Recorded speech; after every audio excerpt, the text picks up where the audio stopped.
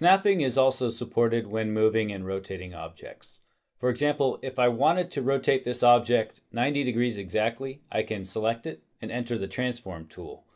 When I click on the rotate handle, I can position my mouse over the incremental ticks to snap to those increments. Here I can keep my mouse over the ring of ticks and increment the rotation by 5 degrees until I reach 90 degrees where I can let go. You can make the increment smaller or larger by pressing the up and down arrow keys. See, by pressing the arrow key a few times, the ticks update and now I'm snapping to 1 degree increments. Pressing the down arrow, I'm back to 5 degrees.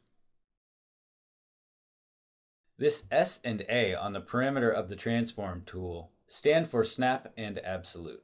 They are used when moving objects with the arrows. For example, clicking the S enables it and it turns green.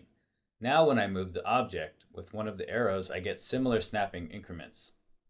With the absolute enabled, I see the movement increments in absolute values. And if I turn it off, the object moves in the same increments, but the value shown is relative to the starting point of the move.